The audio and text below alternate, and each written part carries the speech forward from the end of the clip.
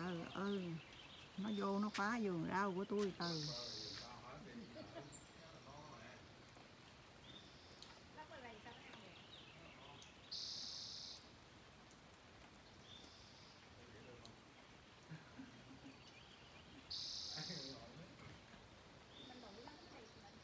không, đuổi nó không đi đâu, lần trước mình đuổi rồi, nó đi vô ngon lành luôn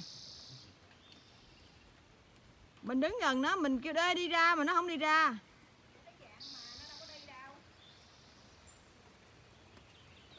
Ừ. Trồng dâu là nó vô nó hớt ngọn dâu dùm giống như ai thiến vậy đó.